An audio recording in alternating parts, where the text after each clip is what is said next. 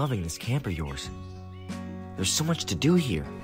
Yep, we've had a lot of fun times here, including goofing around in golf carts, reading books, getting sucked into an arcade cabinet. Ignore that part, and other fun stuff. I'm glad you're getting more used to our culture and stuff. Hey, um, not to interrupt, but are we gonna have to eat?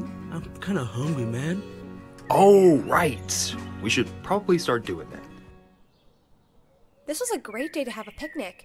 It's a nice clear day with nothing to ruin our beautiful time outside. Yeah, I agree. Hey, Shiro, if you don't mind me asking, has the camp been treating you well? Especially, you know, what happened back in that medieval world? Oh, it totally has. There's much better advancements in technology over here. And also, the benefit of not having anything to terrorize your village, too. Eh, I beg to differ. We've had our own monsters try to terrorize us as well.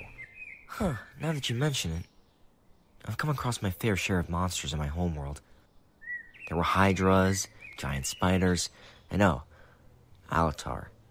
He was definitely a monster. Yeah, what a jerk that guy was. I'll never forgive him for what he did to those poor people. He destroyed their town, all of their lives at risk. Whoa there, Shiro. Calm down. It's all in the past, and we don't have to. Crap. Alatar, you monster! Well, that's new. What was that word from? I don't know, it's like he had bottled up some rage and let it all out or something. Wait, that's it. Maybe keeping those emotions inside causes him to unleash this form of his. Let's go talk to Damien. Damien, Rose, we need to get some info on something ASAP. What is it exactly? You know that Shiro monster guy? Well, he just unleashed this big form that may have something to do with bottled up emotions. Can you guys help Hmm. with that? I might be able to, though it might not work. This tranquilizer dot is filled with the energy reducing fluid that calms down someone or something. This is the only thing I have at the moment. Sounds perfect. Got a plan in mind? Yup, Rose, Yeah? go outside and try to keep Shiro's attention if you can. I'll do my best.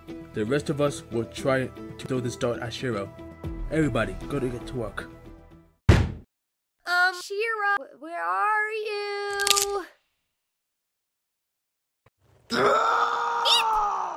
Ah, no, no, no, no, no, please don't kill me. Hey, Shiro, calm down, or we'll have to take action. Alright, give us no other choice. Damien, launch it now. Heard, why did you...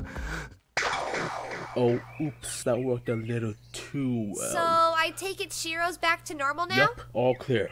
So, Damien, did you ever figure out what exactly caused big form of his? Well, I looked up the medieval book that you guys used to travel to his world. From what I, I learned, unique DNA that lets them gain another look that powers them up and stuff. Whoa, kinda trippy, yo. Yeah, hopefully me and Rose can keep a close eye on him. Thanks for helping out, guys. So, are we gonna eat or so- something? I'm so starving, dude. Yeah, I think we all need a lunch break. Come on, guys, let's go eat.